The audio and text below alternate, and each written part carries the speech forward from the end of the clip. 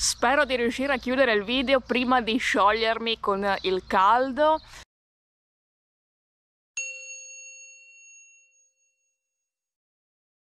Ciao a tutti ragazzi, benvenuti in questo nuovo video. Oggi è il caso di aggiornarvi un pochino dopo un paio di mesi abbondanti anche su quella che è la situazione nel mio orto.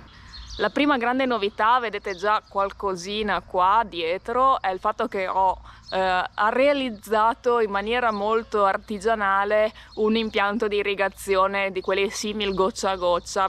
Vi basta semplicemente attaccare il tubo dell'acqua al tubo che vedete qui, che è stato che ho messo giù e forato in corrispondenza delle piantine e mi basta semplicemente aprire l'acqua e eh, si bagna tutto l'orto in maniera tra virgolette automatica. Vi faccio poi vedere nel dettaglio come sono cresciute e come appunto stanno procedendo le piantine che eh, avete visto nel primo primo video. Allora l'erba cipollina sta benissimo come vi ho detto è abbastanza facile tenerla. Fragole pensavo fossero eh, andate sostanzialmente. Dopo averle piantate qui invece sono rifiorite ho le fragole nuove diciamo così e si stanno anche un pochino espandendo quindi dovrei avere le, eh, le piantine per il prossimo anno quello che non sta decisamente bene è il prezzemolo, è andato a fiore mm, ultimamente, quindi l'ho tagliato, vediamo se eh, ricresce o se dovrò ehm, ricomprare le piantine. Qui abbiamo dove c'era l'insalata, come vedete ho già cominciato questi, i quattro buchi che vedete, cinque buchi che vedete, sono l'insalata che ho già mangiato, questi tre rimangono e eh, spostandoci di qua qua giù in fondo c'era il buco che ho uh, non c'era nulla inizialmente ho semplicemente piantato altre quattro piantine di insalata.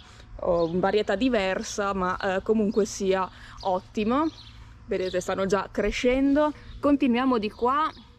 Basilico ottimo come potete ben vedere stanno crescendo bene. Poi c'è un minimo di manutenzione da fargli ma tipo qui togliergli un pochino i fiori che stanno crescendo al, alle sommità. E approfitto per farlo insieme a voi. Sedano queste tre piantine non sono grandissime diventate però insomma non c'è male. Passando di qua cominciamo con i pomodori questi qui eh, sono tipo San Marzano o Perino, adesso non so esattamente, hanno sofferto un po', se vedete qui, eh, di eh, carenza di, ehm, di, calcio, dovrebbe essere il fatto che marcisca in fondo, però in teoria ho sistemato diciamo, la cosa dandogli un po' un boost come appunto eh, come concime. Stessa cosa di qua, stanno comunque bene quelli che mi stanno dando più soddisfazione sono i eh, pomodorini, questi qui che sono i piccadilli, super. Adesso poi andrò anche a raccoglierli e vedete stanno, ne ho addirittura troppi.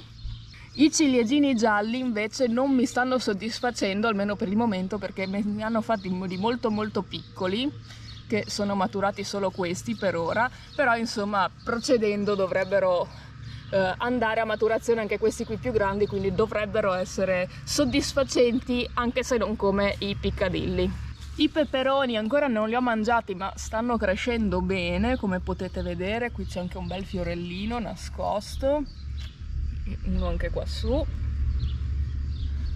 per cui sono fiduciosa, molto bene anche i cetrioli e ve ne faccio vedere un paio guardate qua uno qua sotto ne ho sicuramente che è pronto e un altro qua su da qualche parte qua questo che è caduto.